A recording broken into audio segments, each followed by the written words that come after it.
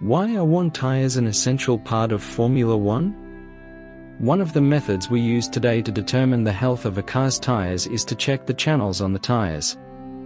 Smooth tires that used to mean almost certain death for a car are now essential for Formula One. With the increase in the number of vehicles on the roads and the increase in their speed and power, the number of studies aimed at improving tire grip has also increased, resulting in the emergence of different groove shapes. Meanwhile, in the pinnacle of motorsports, Formula One, tires are largely worn. There are no grooves on the tires, and if there is any small flaking or sticking rubber on the tire, it is made smooth again. But why?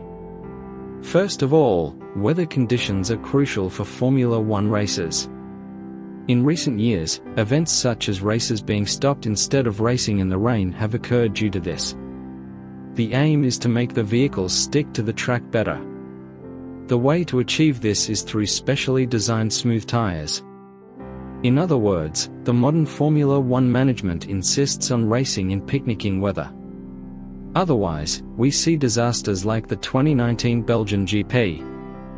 Another significant difference in Formula One is that everything, from tires to fuel, motor oils to cooling fluids, is developed specifically for the sport tire components and asphalt are prepared to provide the highest level of grip. Therefore, in dry conditions, vehicles experience fewer problems. Another point is the restrictions imposed on Pirelli, the official tire manufacturer of Formula One. Pirelli produces tires that will work most efficiently for a short period of time and within a certain temperature range. Since vehicles are required to make at least one pit stop and change tires, it is sufficient to produce tires that can last for around 150 to 200 kilometers. As we can see, Formula One cars are designed to use their tires for a very short period of time and then discard them, while the tires themselves are designed to provide maximum performance during that short period. They are not meant to last for six months or anything like that.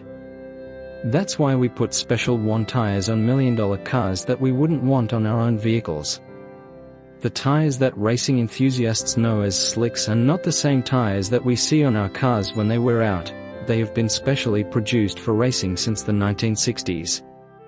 The 18-inch tires that we see on modern Formula One cars are developed by a team of 150 people at Pirelli's headquarters in Milan. This team begins by working on the physics and chemistry of the tire.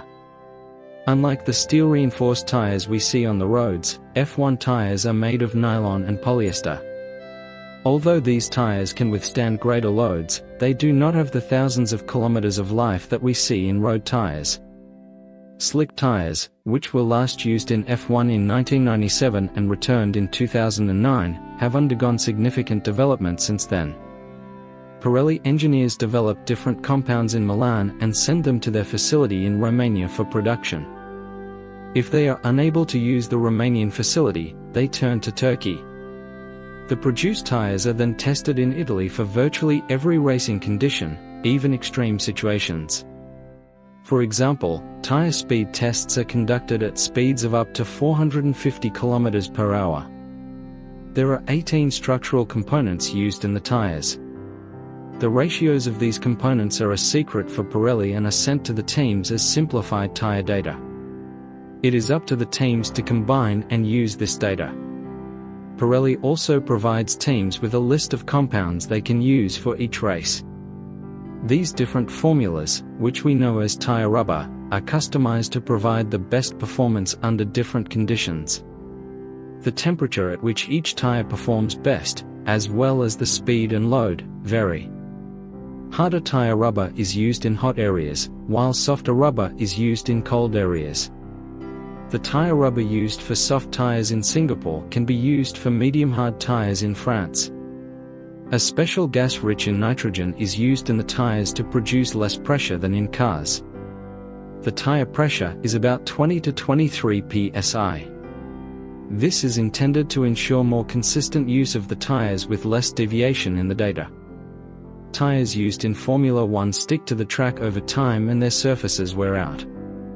Additionally, these tires are viscoelastic materials, meaning they can bend and flex like an elastic material, but they eventually return to their original shape, albeit slowly. This results in energy loss, which we see in the form of heating in the tires. When designing tires, the team focuses on three key areas, eh, this heating issue, as well as hysteresis, which is the tire's ability to return to its original shape, and modulus, which refers to the stiffness coefficient. Flexibility, temperature, and the materials used allow the tire to grip the road. Therefore, tires are produced without grooves to provide the highest possible grip.